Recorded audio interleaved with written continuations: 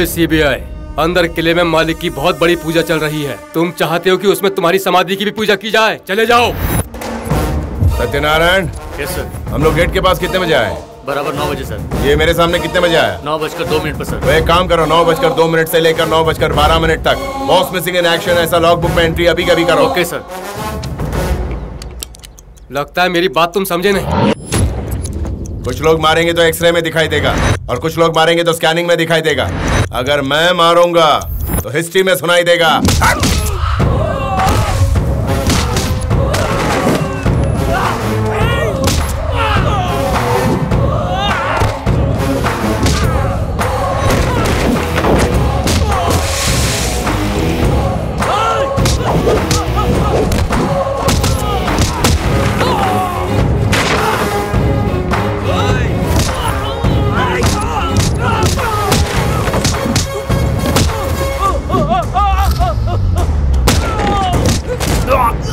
सत्यनारायण और कितना टाइम बाकी है? पाँच second sir.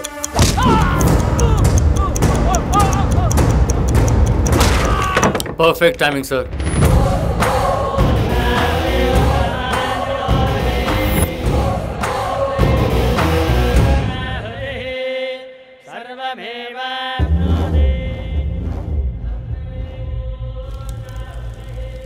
sir आप कहें तो रेड शुरू करें। First pray to the god next prepare for the raid साहब इस हवन से आपके परिवार में समृद्धि शुभ लाभ सुख शांति आएगी।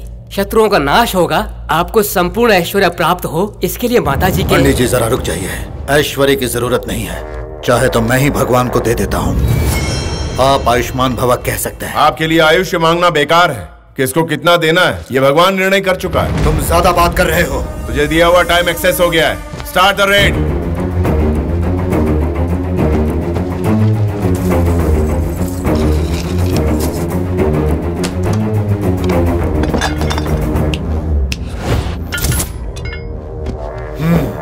प्यून से लेकर चीफ मिनिस्टर तक सब मेरा पैर छूकर आशीर्वाद लेते हैं। मुझसे कोई ऊँची आवाज़ में बात नहीं करता।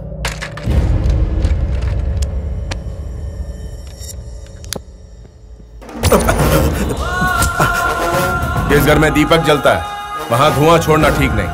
बेसिकली मैं एक स्मोकर हूँ। बचपन में पढ़ाई की जवानी में ऐश किया लेकिन एक लिमिट तक। साथ ही साथ अच्छी आदतें भी अपनाई। तू भी अपना ले।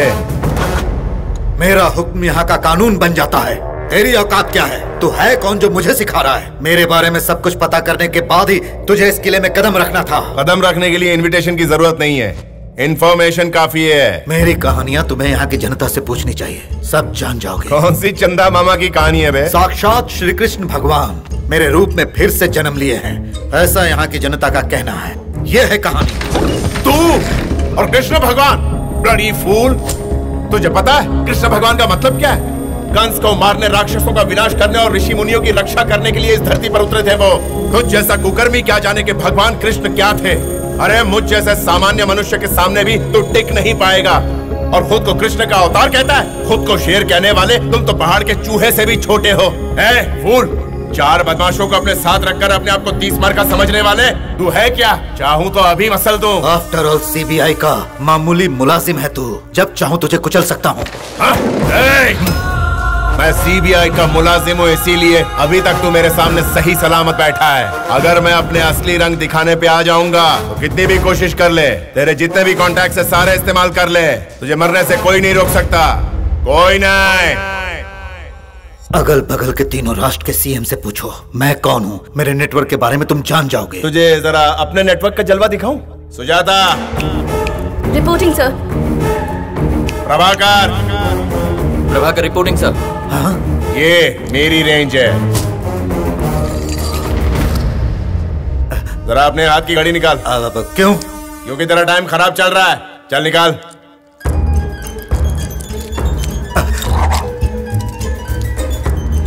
ये तेरी सीक्रेट लॉकर की।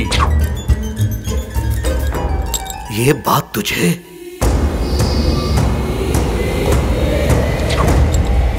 एक बार किसी शैतान का टारगेट फिक्स किया। तो उसके घर में बड़ा होने वाला पेड़ या उसका भोंकने वाला कुत्ता भी हो वो मेरे कंट्रोल में आ जाता है। पैरो सर रेड कंप्लीट हो गया। गुड इसके राशन कार्ड से लेकर पासपोर्ट तक सब कुछ जब्त कर लो। तभी ये ज़रूरत पड़ने पर हाजिरी देगा।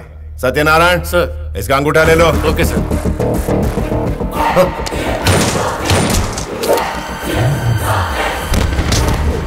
आय!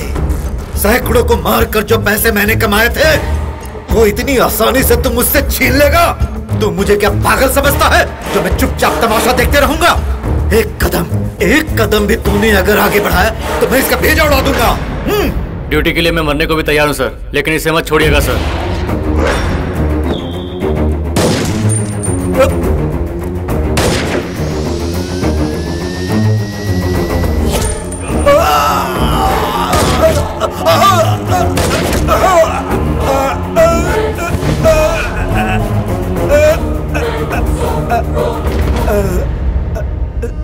सत्य की राह पर चलने वाला छोटा आदमी बड़ा बन सकता है। वही बड़ा आदमी जब बेईमानी की राह पर चलता है तो सीधा परलोक सिधार जाता है। सोने के सिंहासन पर यह देशद्रोही जज नहीं रहा है।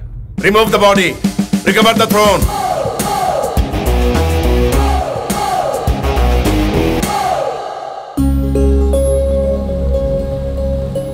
लड़के वालों के आने का टाइम हो गया है। सब तैयार है ना? तुम्हारी बहन को छोड़कर सब तैयार है। तीन घंटे हुए अब तक तैयार नहीं हुई।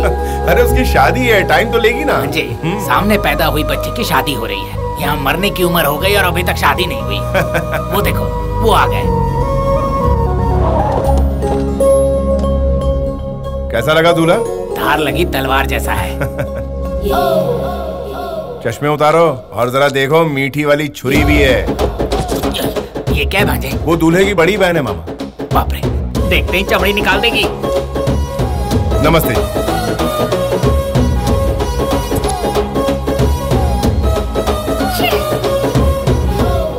चढ़ती है तो उतरना मुश्किल उतरती है तो चढ़ना मुश्किल। क्या करूँ मैं तेरा?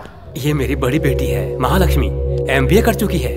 महालक्ष्मी फाइनेंस कंपनी की एमडी ये हमारा बड़ा बेटा है। सीबीआई में ज्वाइंट डायरेक्टर के पोस्ट पर है।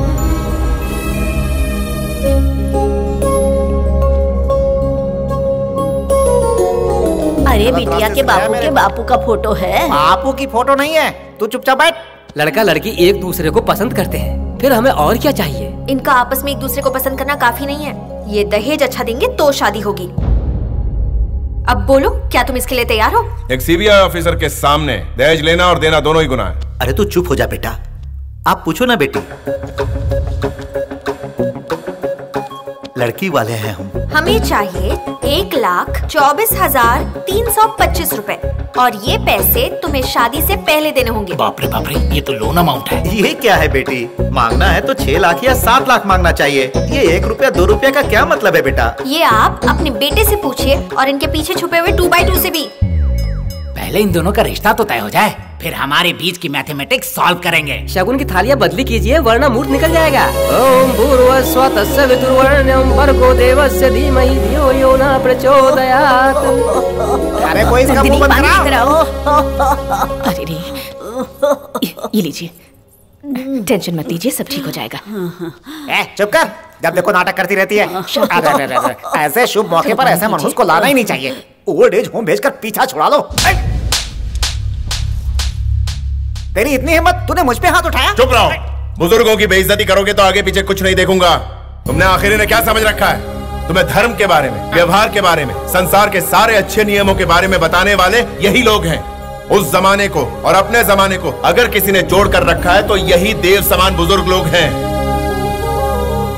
अगर बड़े बूढ़े रास्ता नहीं दिखाएँगे तो हमारे देश की संस्कृति देखते ही देखते खत्म हो जाएगी। मनुष्य में प्रेम नहीं रहेगा। बच्चों के चेहरे से मुस्कान हट जाएगी। प्यार वाले निवाले नहीं होंगे, लोरिया नहीं होंगी दादा दादी की कहानी भी नहीं रहेंगी। अगर ये लोग ओल्ड एज होम्स में चले जाएँगे तो हमारा भविष्य फिर से स्टोन एज में चला जाएगा। आप हमारे मेहमान हो, इसलिए छोड़ रहा हूँ। दूसरा कोई होता तो ऐसा सबक सिखाता की याद रखते। सॉरी मेरी वजह से मुहूर्त का टाइम चला गया। शगुन की थालियाँ बदलने के लिए सिर्फ़ अच्छे मुहूर्त की नहीं, बल्कि अच्छे लोगों की ज़रूरत होती है। माँ? तुम्हें एक बम्पर ऑफ़र दे रही हूँ। अपने बेटे के साथ साथ अपनी बेटी की भी शादी करवा लो। उसी मंडप में उसी पंडित से धूमधाम से शादी करवाओ। अगर ऑफ़र क्लोज हो गई तो अच्छा दामाद मिस कर दोगी। तुम्हारी नज़र में तुम्हारे लायक कोई लड़का है? तुम्हारे सामने ही तो है माँ।